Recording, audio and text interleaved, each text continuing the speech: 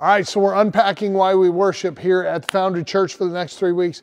This past week, we talked um, about uh, the approach to God, and we use the song Boldly I Approach. And it's a great song by Rend Collective. If you can get it on iTunes or whatever and listen to it, you'll love it. Um, but what I want to talk about is really out of Hebrews chapter 4. That's what spurs this song forward. And um, and I think it's important that we understand that worship is the response of the Christian. Worship is not something we do. You may be called to be a plumber, um, a construction worker, a teacher, a pastor, um, I, I, don't know, whatever, a film person, Kyle behind the camera. Um, whatever you're called to do is something God called you to, but you were made to worship. You were made for worship. That is what your life is supposed to be. So, really, what we're talking about today is how do we approach God? This is what Hebrews 4 says. Therefore, since we have a great high priest who has ascended into heaven, Jesus, the Son of God, let us hold firmly to the faith we profess, for we do not have a high priest who is unable to empathize with our weaknesses, but we have one who is tempted in every way, just as we are, yet he didn't sin. Let us then approach God's throne of grace with confidence so that we may receive mercy and find grace to help us in our time of need. Here's the deal. We come to God and worship not because of who we are, but because of who Jesus is. Jesus, the great high priest, did everything we needed. Remember the Old Testament. You would have had, um, you would have had a high priest in there uh, who understood the structure of worship. And in the Old Testament, the, whole, the high priests are set apart. They're set apart. They, they're doing endless streams of sacrifices, burnt offerings, sin offerings, grain offerings, thank offerings, the daily offerings of sacrifice at 9 and 3 p.m. It would have been a busy life. And in that busy life, they would have been set apart as the tribe of Levi, separate from the community. And with these endless sacrifices, one thing's true there would have been an endless line of death in front of them. Death was always in front of the priest. It was always present because where there is sin, there is death. God wanted his people to know the cost of sin.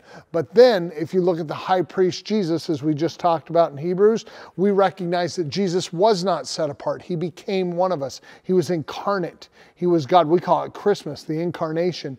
Um, so we recognize that Jesus was one of us. He became one of us. He is the perfect sacrifice. Jesus is the perfect sacrifice because he was holy and he was sinless and he was blameless, yet he died our death. And then we understand Jesus understands our sufferings. Jesus knew what it was to suffer. He was rejected by his own, he was rejected to the point of crucifixion, but he was also raised in a situation where we don't have to go all the way into it. He would have understood every human suffering we have, even the sufferings that are coded in good things. He was really popular at times. He was loved by people. He healed people. He was offered money. He was offered influence. But Jesus never took his eyes off what mattered. And eventually, Jesus wasn't a high priest who had death ever before him. Jesus Christ died our death. Then he conquered death and hell. So we recognize in what Jesus did and being our high priest allows us to do as Hebrews says let us approach the throne, God's throne of grace with confidence so that we may receive mercy and grace. How do we approach? We approach by worshiping. We don't hold back. We just give back to God all that He deserves our praise, our worship, and our love. But we also need to know why we worship. Why do we do this? Because we understand and we're thankful for the gift of salvation in Christ, that it's not up to me to get everybody to heaven or to get myself to heaven. It's Jesus' work, and his work is complete and it's finished, and it's good for me.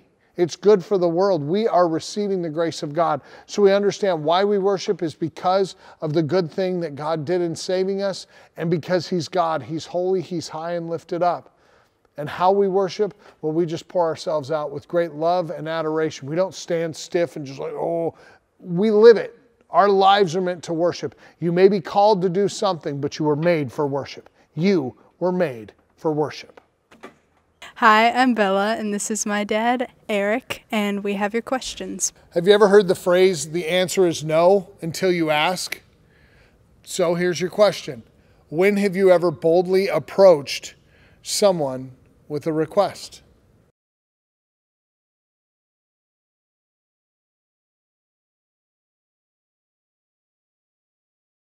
Question number two What would have been the hardest part about the old days living in the sacrificial system that Eric just described?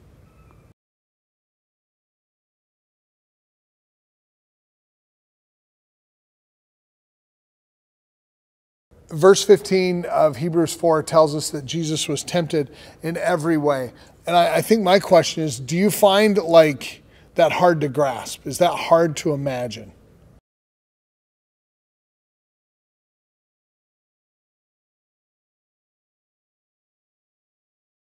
Question four.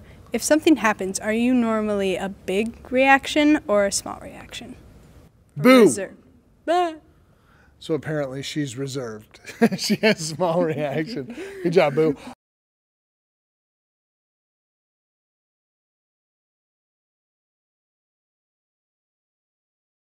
Question number five What is worship to you?